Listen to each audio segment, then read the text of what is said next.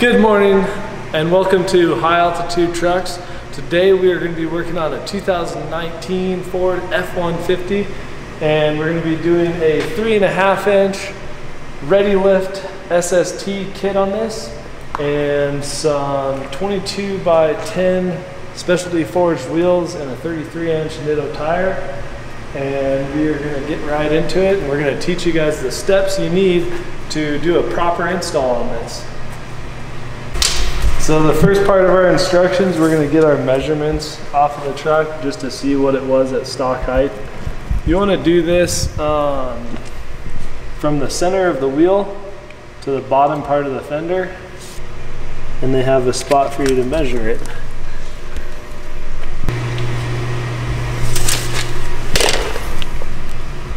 All right guys, so what we have here is our, all of our parts for the Ready Lift suspension kit. Um, it's really pretty simple and straightforward. There's not too much to it, uh, and it'll give it a good stance. So in the front, we'll start with the billet spacers. Uh, this is all CNC machined billet aluminum. Um, these are the strut spacers, and then these are the preload spacers. Um, I really like the quality of these because they're made out of billet aluminum. You don't see a lot of companies doing that. Um, this is kind of our hardware and things like that.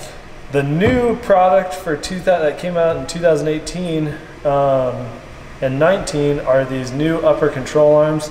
They've really improved the design of it and all the uh, components with it, which really makes it get the proper angles it needs. And then in the back, very simple, just blocks, U-bolts, and uh, that's it. So should be a pretty quick install and uh, we're gonna get right to it.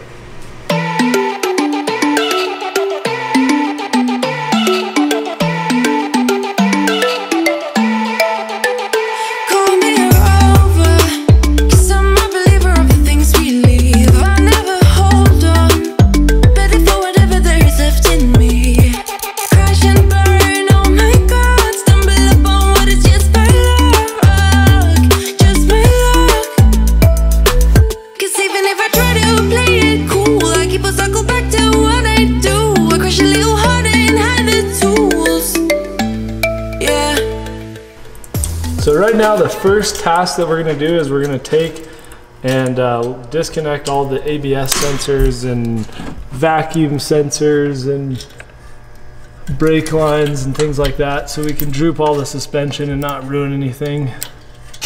So we have removed all of our um, connections. Now we're gonna start tearing into the suspension. Um, we're gonna start with taking the um, nuts off of the tie rod end links um, and these are a 21 millimeter socket. And now what we're gonna do is we're gonna remove the axle nut. We've already removed the cover and then the nut is next. And this is a 13 millimeter. So now we're gonna remove the two lower strut nuts and then we're gonna also remove the sway bar nut and these, all three of them are 18 millimeter.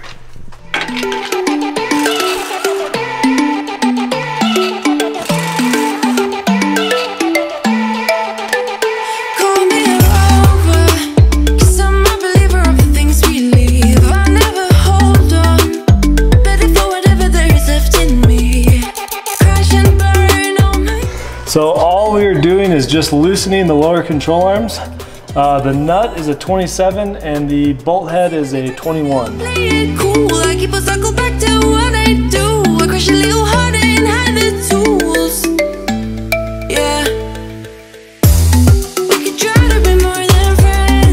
So we can do this a couple different ways. Um, what I find easier is just taking the whole knuckle off.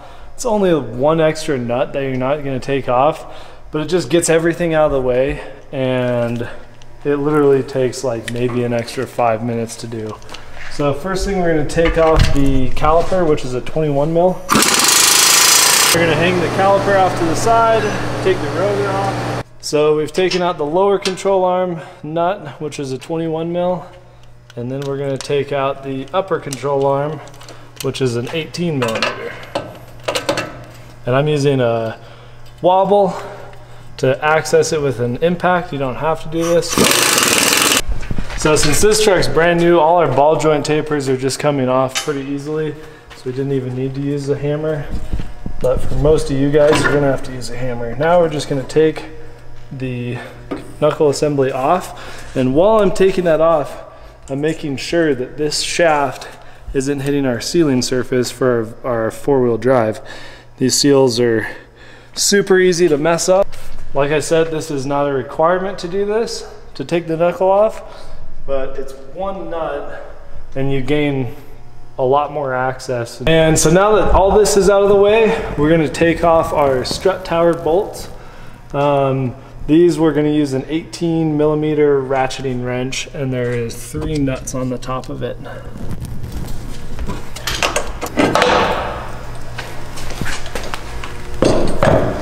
So you're gonna keep this factory strut, correct? Yep.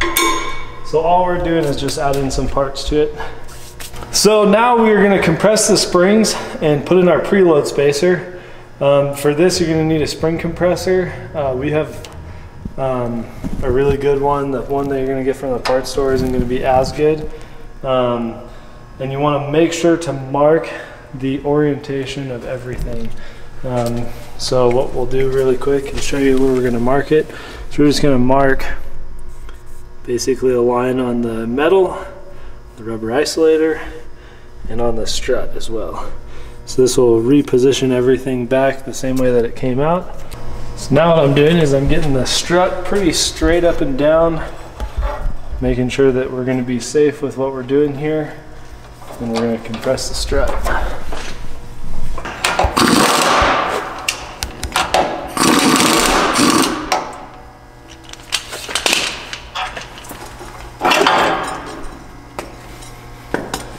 Then we'll set our strut down, release the pressure. This is the top hat where we're gonna add in the preload spacer. Take our preload CNC billet spacer. We're gonna place that into the top hat, put our rubber isolator back on, line up our Sharpie marks, and then the spring can only go in one way because it's clocked a certain direction.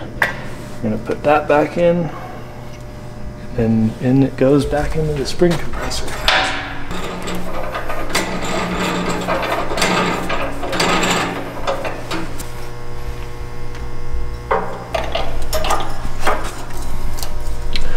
So now we got it compressed. We're gonna make sure that our Sharpie line down here matches everything up there. And we're gonna tighten this bolt and we're gonna tighten this nut to 30 foot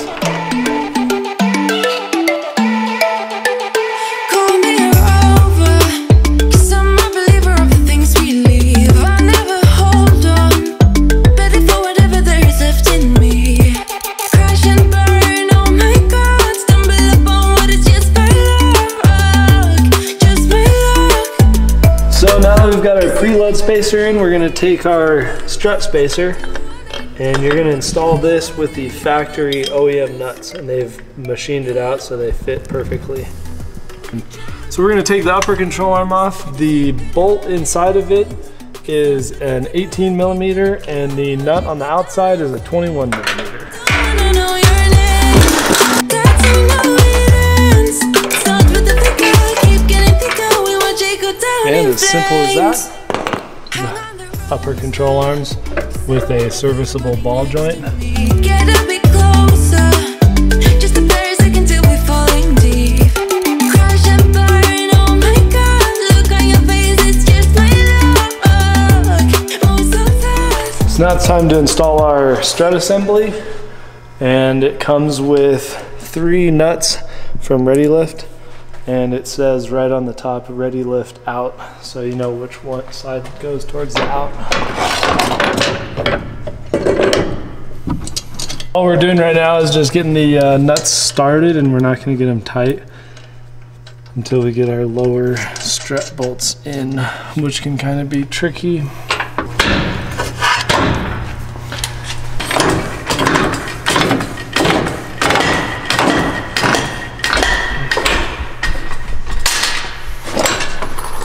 Just like that, our strut bolts are started. And we'll just get the bottom nuts started too. You gotta make sure to be careful not to hit that seal.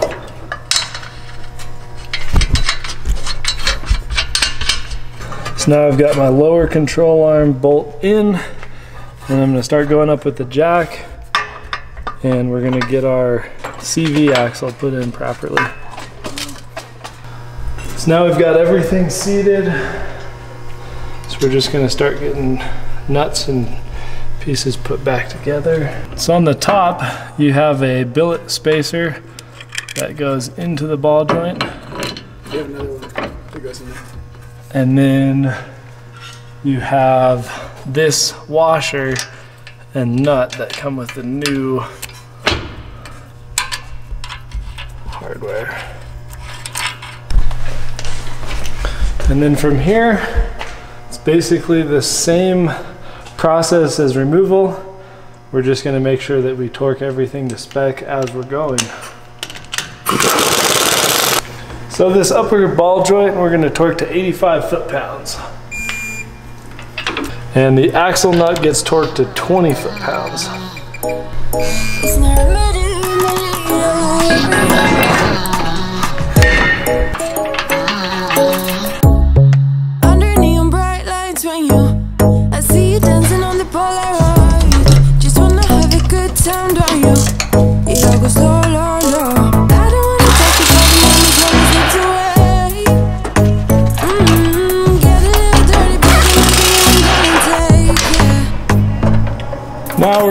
Snug up our upper control arm bolts and lower control arm bolts. And then while it's uh, easy to access in the air, and then we'll, we'll set it on the ground and then we'll torque them to spec. So that wraps up the front suspension. Um, what I'm gonna do really quickly is just do a drop zone, go over everything, make sure that everything's tight and looks good and we didn't miss anything. And we will grease our upper ball joints and then we'll be moving on to the rear suspension. Cigarette smoke, is it? You wanna leave behind. Get all those cold eyes cold looking. But saying bye bye bye. I don't wanna talk before the moment's long as it's Okay, so the rear axle is extremely simple to do. Um, we've already finished that side. Uh, you're gonna wanna work side by side on the rear axle. We're gonna start by taking this shock off. It is, uh, nut side is 18 millimeter and the bolt side is 15 millimeter. And we also have a jack holding the supporting the axle too. Can't forget about that. And now we are going to take off our four U-bolts. And these are 21 millimeter.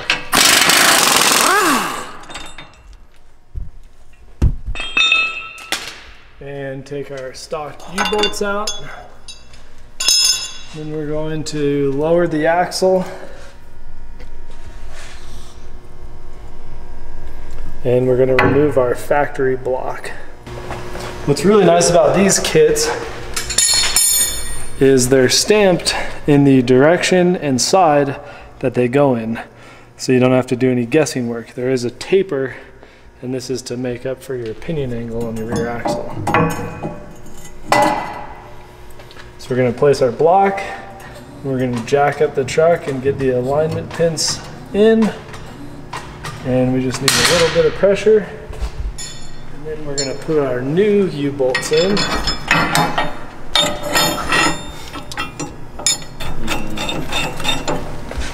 And now we're gonna tighten our U-bolts and then uh, after that we're gonna torque them to 110 foot-pounds. And reinstall our shock bolt.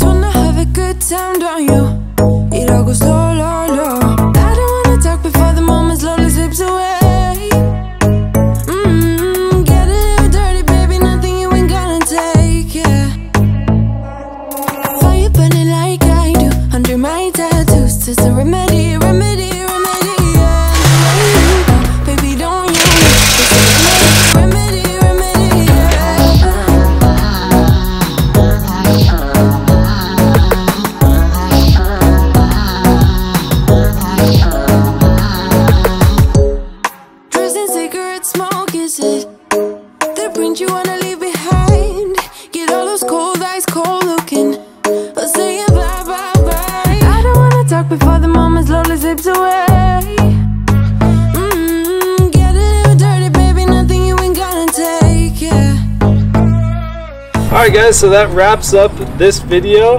Uh, the three and a half inch ready lift kit went together really smooth and it looks really good on this truck. And I hope you guys enjoyed this video. If you did, give it a big thumbs up and uh, we'll see you on the next video.